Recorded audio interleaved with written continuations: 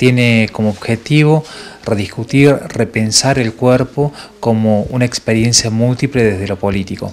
Este curso de extracurricular de grado está promovido por el equipo de coordinación de la licenciatura en Ciencia Política del Departamento de Ciencias Jurídicas, Políticas y Sociales y está abierto a toda la comunidad.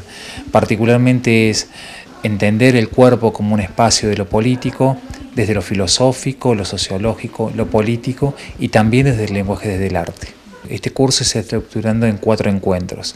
Eh, inicialmente se va a trabajar desde la lectura Foucaultiana sobre el cuerpo, posteriormente autores contemporáneos como Nicolas Rose, eh, Le Breton y también desde la lectura filosófica del arte eh, vamos a abordar esta disciplina.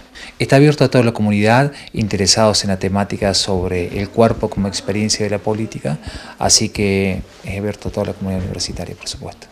¿Quiénes estarán a cargo del dictado de estos conceptos?